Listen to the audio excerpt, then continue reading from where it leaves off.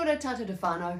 Here's another quick provocation for actors and creatives. This is number five, internal landscape, which is more about the power of visualization to support your text.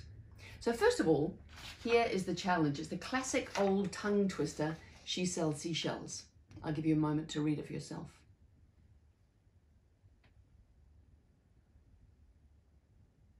You probably don't have any images in your mind other than the words on the page. So here are some images to back it up for you. This tongue twister is actually a story about the first female paleontologist and fossil collector, Mary Anning, and the important discoveries that she made in the fossil beds in the cliffs along the English Channel.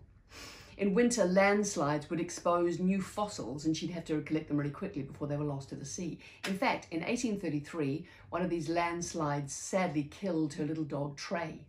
Then Mary would go down onto the beach and she would sell these seashells, or actually fossils, to raise money for her next expeditions.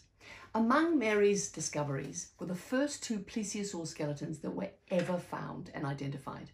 And what's more, it was Mary Anning who discovered that coprolites were actually fossilized dinosaur poo.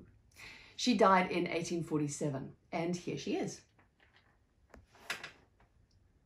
If you look in the corner, you can see her little black and white dog, Tray, who sadly died in a landslide. Okay, now say the rhyme again, and I think you'll find that it feels so much easier to say when the words are supported by images and backstory. She sells seashells on the seashore. The shells she sells are seashells, I'm sure. No shed. See you next time.